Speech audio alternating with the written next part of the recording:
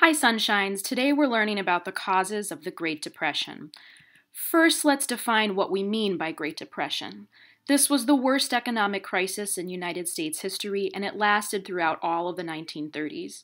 It was characterized by really high unemployment, meaning it was really hard for people to get work and provide for themselves.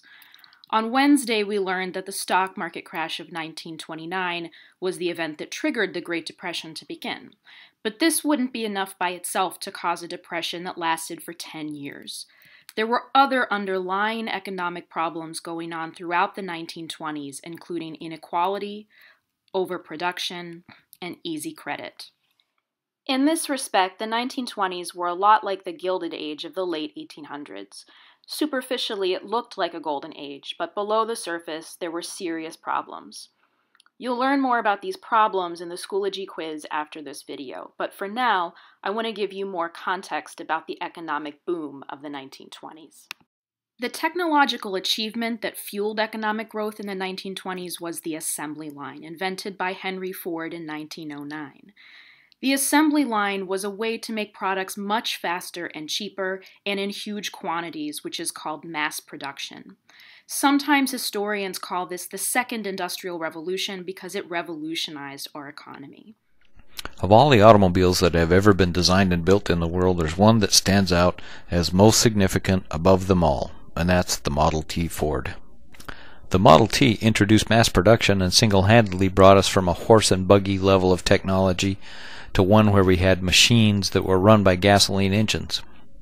Using a moving assembly line, Henry Ford was able to build these things in about one tenth the time it took to build uh, other vehicles by hand previous to the Model T. The Model Ts were simple, they were rugged, they were cheap, and as Henry Ford used to say, you can have any color you want as long as it's black. When they were first introduced in 1909, they sold for $950, which doesn't sound like much to us today. Back then, that was quite a lot of money. Henry Ford cleverly paid his employees $5 a day, which back then was a huge amount of money compared to other jobs that they could get.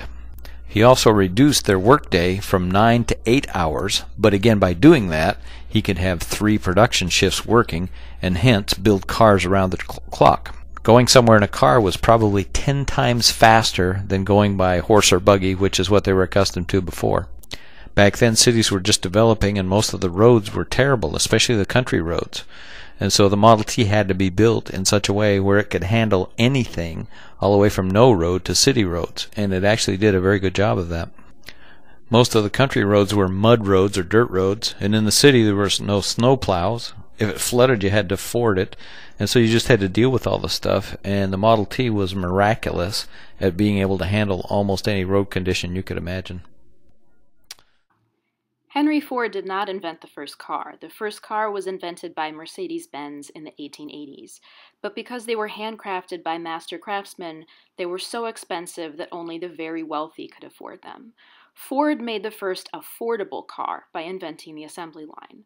The first Model T sold for $950 in 1909, but that cost came down dramatically as Ford made the assembly line even more efficient. The assembly line was soon used to mass produce all kinds of new consumer goods record players, refrigerators, radios, toys. That's my grandma riding a tricycle around the year 1928. And this was the start of a lot of the modern brands we recognize today. Basically, the world was becoming modern in the 1920s.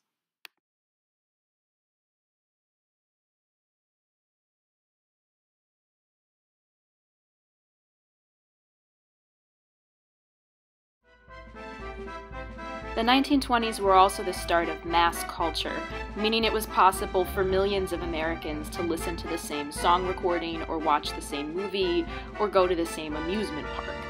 Luna Park opened in Coney Island in the 1920s.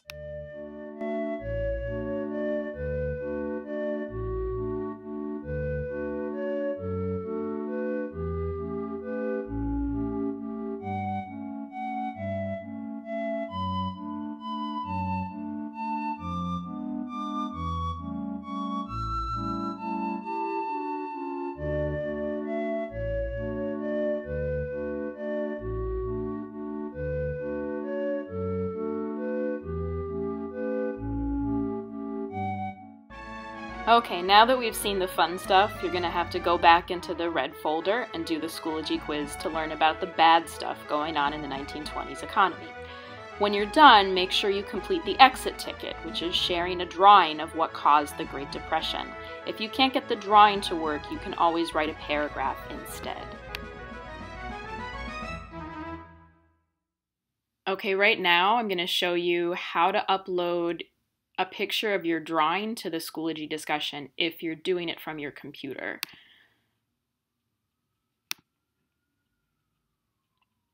So I'm going to reply to my question and then use this button that says File. My picture is right here on my desktop. And now I'm going to type a little reply.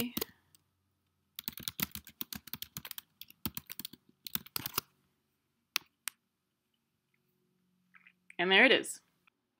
Here's what it looks like to upload a picture from your phone. Go into the discussion, click attach, take a picture.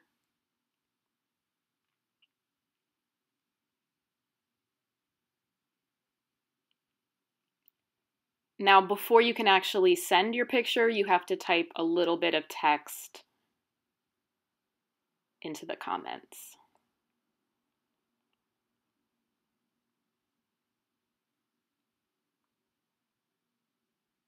There we go.